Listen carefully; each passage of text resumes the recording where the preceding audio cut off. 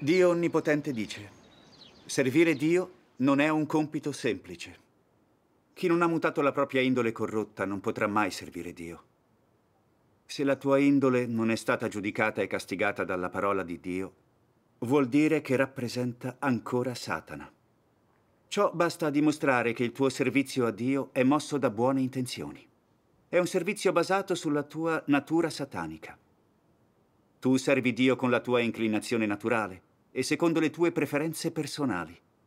Continui a pensare inoltre che Dio ami qualunque cosa ti piaccia e che Egli detesti qualunque cosa non ti piaccia. Dunque svolgi la tua opera solo in base alle tue preferenze, ma puoi ritenerlo un servizio a Dio? E alla fine la tua indole vitale non cambierà di una virgola. Anzi, diventerai più testardo perché starai servendo Dio e così la tua indole corrotta sarà ancora più radicata. Così svilupperai interiormente regole sul servizio di Dio, regole che sono fondate principalmente sul tuo carattere e sull'esperienza derivata dal servizio svolto secondo la tua indole. Queste sono le esperienze dell'uomo. È la filosofia del vivere nel mondo. Persone così si possono classificare come farisei e funzionari religiosi. Se non aprono gli occhi e non si pentono, allora finiranno col trasformarsi in falsi cristi e compariranno negli ultimi giorni per ingannare l'uomo. Amen. Amen. Sia ringraziato Dio. Quando leggo questo passo, servire Dio non è un compito semplice. Chi non muta la propria indole corrotta non può servire Dio. Se la tua indole non è stata giudicata e castigata dalla parola di Dio, vuol dire che rappresenta ancora Satana. Io mi sento profondamente commosso.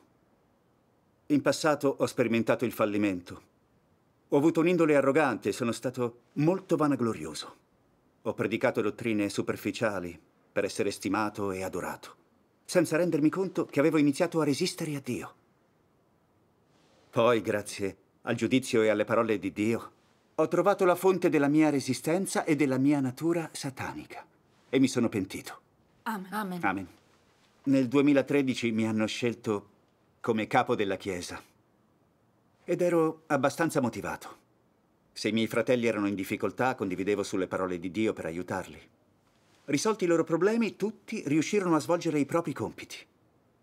Dopo qualche mese, il capo mi ha detto in una chiesa sono appena arrivati molti fratelli e i tuoi collaboratori vorrebbero che te ne occupassi tu. Sicuro di me ho accettato. Pensavo solo di dover nutrire quei fratelli affinché capissero subito la verità, gettando le basi sulla vera via. Arrivato alla chiesa, mi sono fatto un'idea della situazione generale e ho preso nota dei problemi e delle difficoltà di tutti loro e li ho risolti condividendo sulle parole di Dio.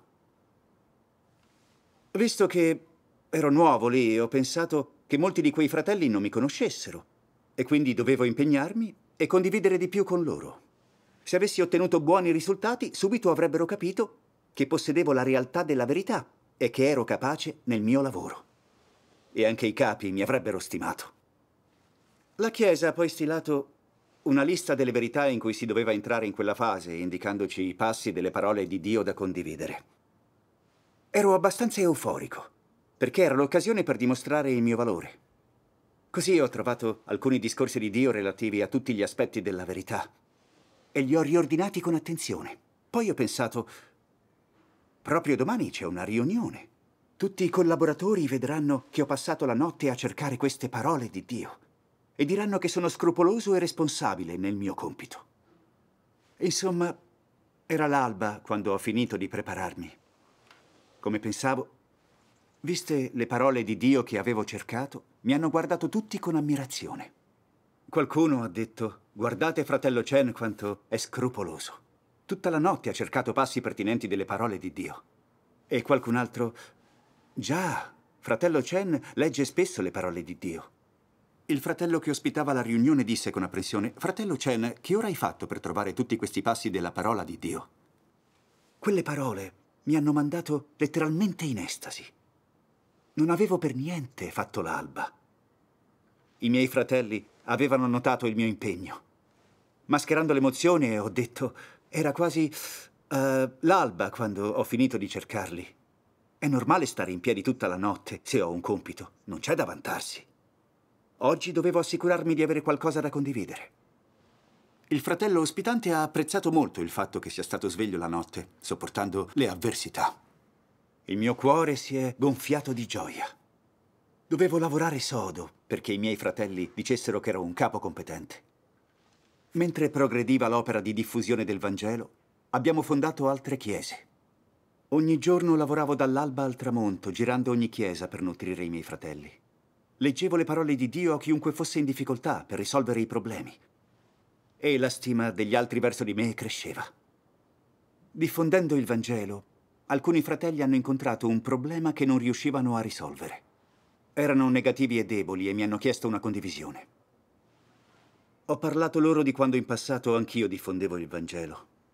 Ho detto, molti avevano dei concetti, non lo accettavano, e mi hanno cacciato dalle loro case. All'epoca anch'io ero in difficoltà, così pregavo sempre Dio. Di notte cercavo passi pertinenti delle sue parole da condividere con quelle persone che avevano problemi. Volevo che sentissero la voce di Dio e ricevere la sua salvezza negli ultimi giorni. Nonostante le umiliazioni, mi rifiutavo di arrendermi. Alla fine li ho portati tutti all'ovile. Finito di parlare, un fratello mi ha detto con ammirazione, Chen, tu sai sopportare le avversità e il fardello. Alcuni hanno detto, dovremmo diffondere il Vangelo come fai tu. La stima che tutti avevano nei miei confronti mi mandava al settimo cielo. Da quel giorno altri in difficoltà venivano a chiedermi aiuto e pochissimi si rivolgevano al fratello che mi affiancava. Svolgendo i loro compiti, i fratelli facevano attivamente tutto ciò che chiedevo. Vedendo quanto mi stimavano, mi apprezzavo sempre di più. Mi sentivo un vero pilastro della Chiesa. Durante una riunione continuavo a parlare di quanto avessi sofferto, del prezzo che avevo pagato nel mio compito e dei risultati ottenuti. All'improvviso una sorella mi ha detto, Fratello Chen, tu parli sempre di quanto ti sei speso e hai sofferto per svolgere il tuo compito, ma non delle tue debolezze avute durante le avversità, della tua indole corrotta, della conoscenza acquisita su te stesso, né di come hai cercato la verità negli ostacoli. Sembrerebbe che tu non abbia alcuna corruzione. Finito il suo discorso, tutti gli altri mi hanno guardato. Io ero sbalordito. Mi sentivo messo alle strette ed ero rosso in volto. Ho pensato, mi ha fatto sembrare uno sciocco davanti a tutti i fratelli e sorelle. Cosa penseranno di me? Nel tentativo di salvare un po' di orgoglio ho detto subito, vedi sorella, la tua condivisione è corretta. Ma i nostri fratelli incontrano difficoltà nei compiti diventando negativi. Oltre a parlare della corruzione, condividiamo di più sulle pratiche positive. Solo così i nostri fratelli possono progredire e trovare la fede. In seguito, altri fratelli e sorelle mi hanno detto che, parlando delle mie esperienze e conoscenze, avevo pressoché taciuto riguardo alla mia corruzione. E che, con quei discorsi sulla sofferenza e su come avevo abbandonato la carne nel mio compito, ero apparso abile nel praticare la verità. Di fronte a quel monito dei miei fratelli, mi sentivo un po' a disagio. Ciò che avevo condiviso non era adatto. A volte condividevo sulla mia arroganza e sul mio egoismo. Inoltre, senza intralciare il lavoro della Chiesa, avevo sempre ottenuto ottimi risultati nel mio compito. Non c'era nulla di sbagliato nel mio modo di condividere. Così non ho riflettuto su me stesso. Alla fine, come hai fatto a riconoscere queste cose? In seguito, mm. per motivi legati al mio compito, hanno deciso di trasferirmi in un'altra chiesa. Durante una riunione, fratello Zhang ha detto con tono serio, fratello Chen, da quando hai lasciato l'altra chiesa, alcuni fratelli hanno perso interesse nel proprio compito. Di fronte a una difficoltà non cercano la verità, vogliono che sia tu a risolvere i problemi. E qualcuno non frequenta più le riunioni. Ciò dimostra che non hai esaltato Dio e non gli hai reso testimonianza nel tuo compito. Volevi solo farti stimare e adorare dagli altri. È un atto di malvagità e devi riflettere su te stesso. Quelle sue parole mi hanno sbalordito. Com'era successo? Tutti i miei fratelli mi adoravano. Era un problema grave. Questo, credetemi, mi agitava molto. Da quel momento non ho più sentito ciò che si condivideva in riunione. Avevo una gran confusione in testa. Non sapevo come potevo venirne fuori. Tornato a casa, ho rimuginato ancora sulle parole di fratello Zhang. Pensavo di aver assolto il mio compito, di saper condividere sulla verità per risolvere i problemi. Non avrei mai pensato di arrivare a tali conseguenze. In realtà la questione mi aveva sconvolto. Nella mia impotenza ho cominciato a pregare Dio. Ho detto, Dio, ti prego, illuminami per trovare l'origine del problema e comprendere davvero me stesso. In seguito ho visto alcune parole di Dio. Coloro che peggiorano progressivamente si esaltano e testimoniano se stessi. Se ne vanno in giro vantandosi e autocelebrandosi e non hanno affatto preso a cuore Dio. Avete qualche esperienza di ciò che sto dicendo? Molti testimoniano se stessi affermando ho sofferto in questo e in quel modo, svolgendo ogni lavoro. Dio mi ha trattato in questa e in quella maniera, mi ha chiesto di fare questo e quello, ha un'opinione particolarmente alta di me, ora io sono in un modo e in un altro. Parlano deliberatamente in un certo tono e assumono certe posture. In sostanza, alcuni pensano che queste persone siano Dio. Quando saranno arrivati a quel punto, lo Spirito Santo li avrà abbandonati da tempo.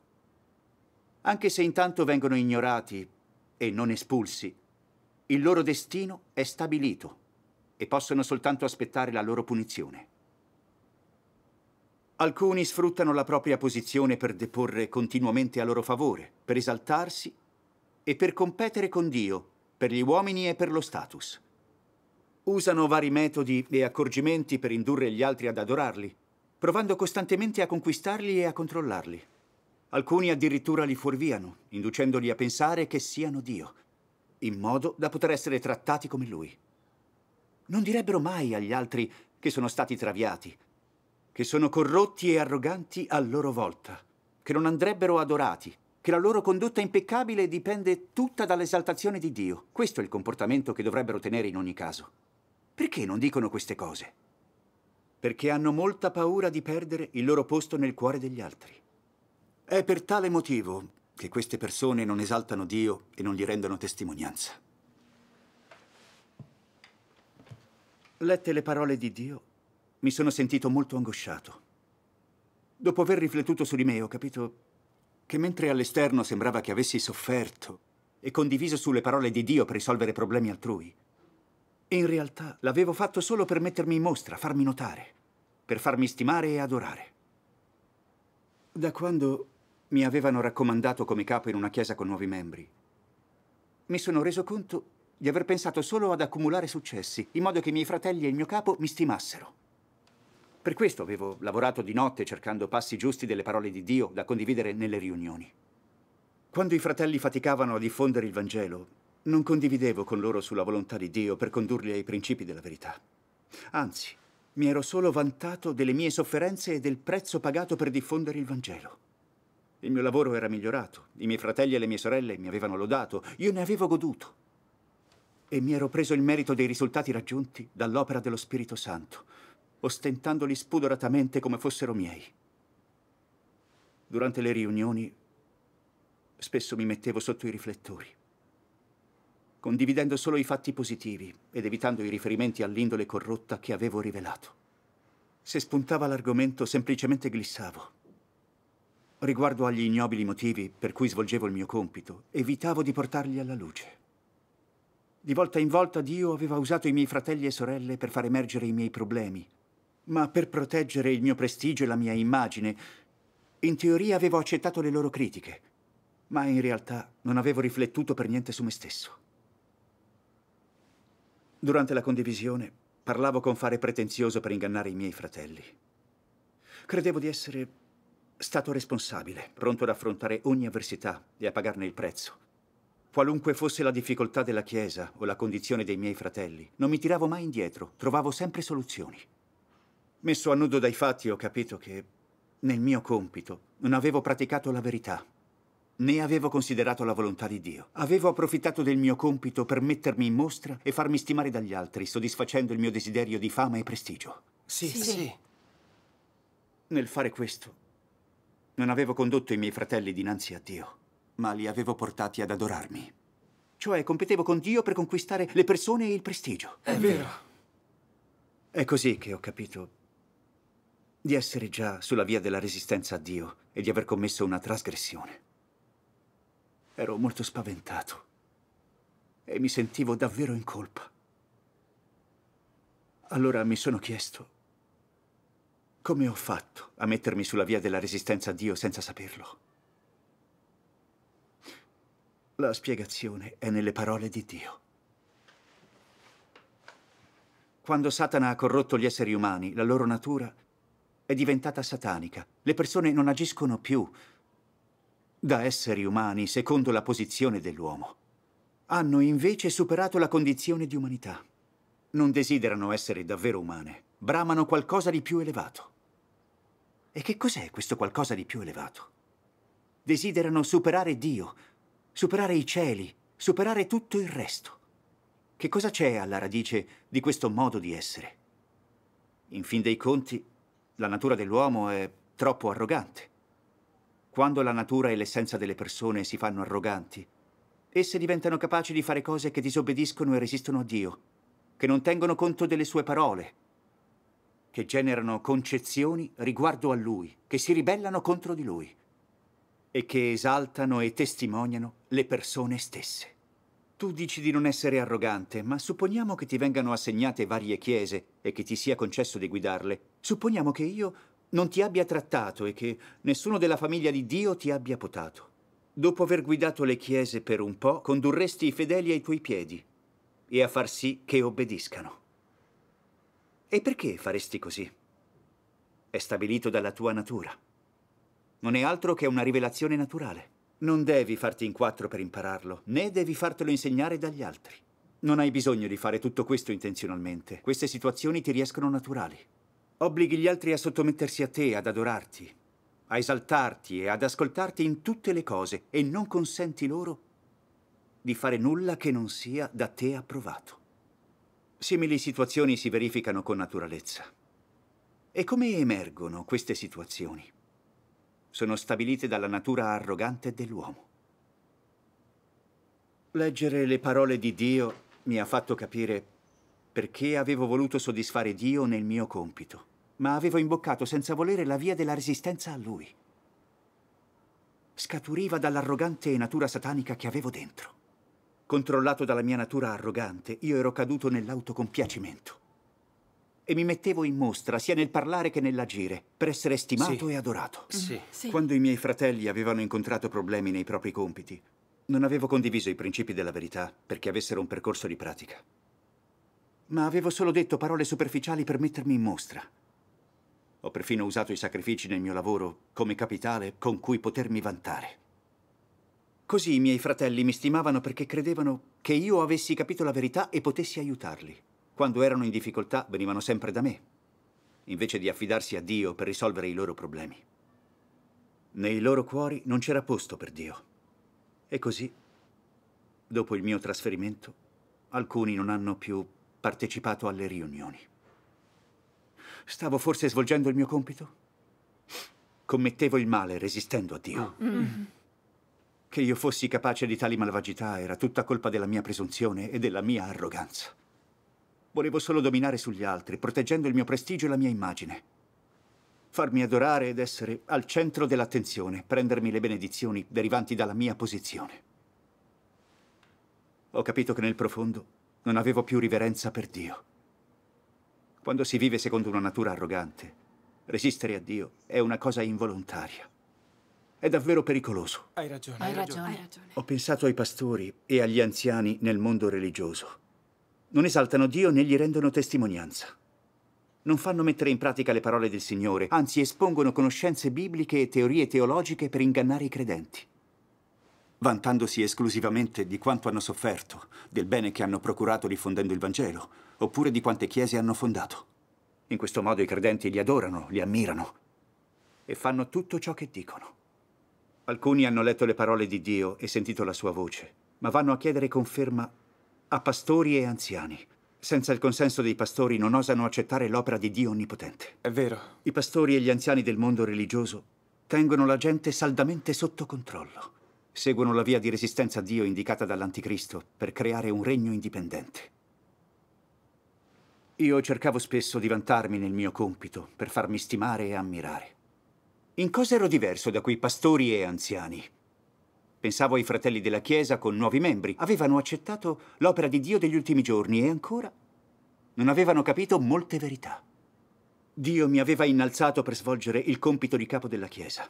Dovevo condividere sulle sue parole, rendere testimonianza alla sua opera, perché comprendessero verità e conoscenza di Dio gettando le fondamenta sulla vera via. Mm-hmm. Ma cosa ne è stato dei miei tentativi di svolgere quel compito? Mi sono fatto adorare dagli altri, negando loro una qualsiasi conoscenza di Dio. Così facendo avevo danneggiato i miei fratelli, intralciando e turbando il lavoro della Chiesa. Stavo percorrendo la via di resistenza a Dio indicata dall'Anticristo. Giusto. Esatto. Più ci pensavo, più ero preoccupato e turbato. Capivo che ero stato arrogante, senza la minima riverenza verso Dio. E con le mie azioni offendevo la sua indole da molto. Se non avesse usato i miei fratelli per potarmi e trattarmi in quel modo, non avrei riflettuto sulle mie azioni. Percorrendo quella via, chissà quanto male avrei fatto incorrendo nella punizione di Dio. Questo, questo, questo, è, questo vero. è vero. Con molto timore mi sono prostrato davanti a Dio e ho pregato. Ho detto, Dio, sono stato così arrogante. Mi vanto sempre nel mio compito e ho lasciato che tutti mi adorassero e non avessero un posto per te nei loro cuori. Ho commesso il male e ti ho resistito. Merito la tua punizione. Dio, voglio pentirmi davanti a te, perseguire la verità e ricominciare da capo. Amen. Sia ringraziato Dio. In seguito ho letto queste parole di Dio. L'uomo, essendo una delle creature, deve restare al suo posto e comportarsi coscienziosamente e salvaguardare debitamente ciò che gli viene affidato dal Creatore. E l'uomo non può uscire dai ranghi, né fare cose al di là della sua portata, o che risultino sgradite per Dio. L'uomo non deve cercare di essere grande o eccezionale o superiore agli altri, né cercare di diventare Dio. Non bisogna mai avere questo tipo di desideri. A prescindere da ciò che gli esseri umani ricercano o desiderano, soltanto coloro che tornano dinanzi al Creatore e diligentemente compiono e portano a termine ciò che sono tenuti a fare e ciò che è stato loro affidato, vivranno con la coscienza pulita e in maniera giusta e appropriata, senza alcuna sofferenza. Questo è il significato e il valore del vivere. Amen. Sia ringraziato Dio. Dopo aver letto le parole di Dio ho capito che Egli è il Signore della creazione ed è giusto, corretto e naturale che gli uomini lo adorino e si sottomettano a Lui. Amen. Inoltre sapevo di essere solo un piccolo essere creato, un umano corrotto. Ero intriso di indole satanica. Ero arrogante, ingannevole, egoista e spregevole. Eppure cercavo sempre di vantarmi e di accaparrarmi un posto nel cuore della gente. Ero davvero senza vergogna e arrogante, al di là di ogni ragionevolezza. Più ci pensavo, più mi vergognavo. Mi odiavo perché ero cieco e non conoscevo Dio. Non sapevo chi fossi veramente. Oggi svolgo il mio compito solo per merito della grazia di Dio che mi ha elevato.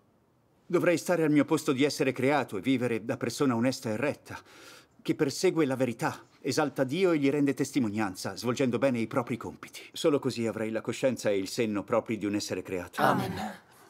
In seguito ho cercato un percorso di pratica e di ingresso attraverso le parole di Dio. Ne ho lette alcune che dicevano Rendendo testimonianza a Dio dovreste parlare di più di come Egli giudica e castiga le persone, di quali prove usa per affinare gli esseri umani e cambiarne l'indole e anche di quanta corruzione è stata rivelata nella vostra esperienza, di quanto avete sopportato e di come alla fine siete stati conquistati da Dio, di quanta vera conoscenza dell'opera di Dio avete e di come dovete rendere testimonianza per Lui e ripagarlo del suo amore. Dovete usare un tipo di linguaggio più pratico, nello stesso tempo esprimendovi in maniera semplice. Non parlate di teorie vuote. Parlate in modo più concreto, parlate con il cuore. È così che dovreste sperimentare. Non armatevi di teorie vuote, apparentemente profonde, solo per mettervi in mostra. Questo comportamento vi fa apparire molto arroganti e irragionevoli. Dovreste parlare di più di cose effettive, tratte dalle vostre esperienze reali e che provengono dal cuore. Ciò reca grande beneficio agli altri. Ed è proprio questo che debbono capire. Amen. Sia ringraziato Dio. Lette queste parole, ho capito come praticare l'esaltazione di Dio e come rendergli testimonianza. Sia Sia ringraziato, ringraziato ringraziato Dio. Dio. Nel rendere testimonianza a Dio dovrei parlare di più di come ho sperimentato la sua opera, dell'indole corrotta che si era rivelata in me, di come mi ero ribellato e gli avevo resistito, di come avevo conosciuto me stesso e grazie alle sue parole sono pentito e cambiato. Sì. Condividendo sulla verità dovrei aiutare gli altri a capire la sua volontà e le sue richieste. L'opera che egli svolge per salvare le persone, nonché la sua indole. Dovrei riverire e sottomettermi a Dio, svolgendo i compiti degli esseri creati. Solo così potrei esaltare Dio e rendergli testimonianza. Sia ringraziato ringraziato Dio. Quando tenevo condivisioni con i miei fratelli, parlavo solo di quanto avevo sofferto, del prezzo pagato e di come ero stato testimone delle azioni di Dio, delle sue benedizioni. Se si trattava dell'indole corrotta che si era rivelata in me, o dei miei ignobili motivi, li occultavo e quasi mai ne facevo menzione. Temevo che, vedendo la mia corruzione, la loro stima sarebbe crollata. Ah, Avevo davvero una natura ingannevole. Ho riconosciute queste cose e ho parlato con fratello Zhang delle mie azioni malvagie, di come mi ero vantato per ingannare gli altri. Gli ho chiesto di visitare la chiesa in cui avevo servito e di sezionare il mio comportamento con tutti perché fossero più perspicaci. Sì, Sì. sì. Durante la riunione mi sono anche aperto con i miei fratelli e sorelle sul mio comportamento malvagio. Ho testimoniato l'indole giusta di Dio e ho detto di non imitarmi Sia ringraziato se Dio. non volevano imboccare la via di resistenza a Dio. Sia ringraziato Dio. In seguito, nei miei compiti, ho tenuto un profilo più basso e ho sviluppato un po' di riverenza per Dio. Sia ringraziato Dio. Una volta, durante una riunione, c'era un fratello in difficoltà e io ho tenuto una condivisione sulle parole di Dio per aiutarlo a risolverla. Dopo avermi ascoltato, il fratello ha detto felice: Fratello Chen, la tua condivisione è ottima. È da molto tempo che mi preoccupa questo problema e non l'ho mai risolto. Tu capisci davvero la verità. Dovresti condividere più spesso qui con noi. Un altro fratello ha detto la stessa cosa. In quel momento mi sentivo piuttosto euforico e ho subito capito che la mia brutta tendenza all'ostentazione rialzava la testa. Così ho abbandonato me stesso e mi sono affrettato a pregare Dio. In seguito ho reso testimonianza a Dio e ho condotto i miei fratelli dinanzi a Lui. Ho detto, ognuno può imparare da ciò che abbiamo condiviso oggi. È lo Spirito Santo che ci guida e ci illumina. Dovremmo tutti leggere le parole di Dio e cercare di più la verità nelle sue parole. E lo Spirito Santo ci illuminerà. La nostra comprensione crescerà. Sia ringraziato Dio. Dopo averlo detto, ho provato un grande senso di pace interiore. Subire questa trasformazione, praticare l'esaltazione di Dio e rendergli testimonianza nel mio compito. È tutto merito del giudizio e del castigo prodotti dalle parole di Dio. Amen. Sia ringraziato Dio. È stato un Sia incontro ringraziato davvero Sia ringraziato meraviglioso, Dio. Non credi anche tu?